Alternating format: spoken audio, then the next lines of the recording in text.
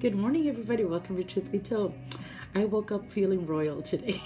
uh, I just want to pray that everyone listening to this message is blessed beyond measure. I pray that you don't forget that you are royalty. You are the son of the King of Kings or the daughter of the King of Kings, honey.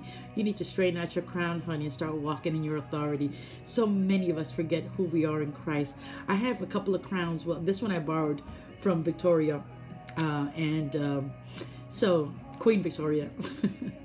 and uh, yeah, I just every time I see a crown, I just think about who I am, who God says I am.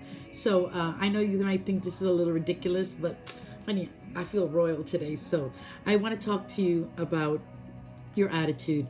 So how you begin your day will determine whether you make it or break it. How you start your day, you need to get your mind set on Jesus, honey. Your attitude and your actions have a strong effect on the rest of your day. Uh, start with a smile and with a, a, spirit of calmness.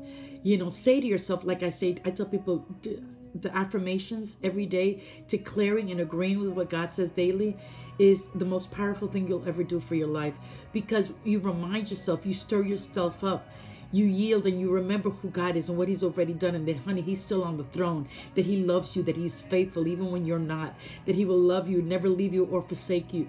These are the things that I say every morning to stir myself up. So when the devil attacks, or so when life comes at me, I'm standing and rooted in the, in the foundation of who I am, honey. I just literally straighten out my crown and call on my papa, honey. I literally call on my father for everything. I have my GGs on, which are my God goggles, and I filter everything through his word. I pray that you start to live according to his will for your life and start to realize that there's nothing better in this world. I love you. I pray you have an amazing day. I am on Amazing Avenue and Blessed Boulevard. Where you at? Holla.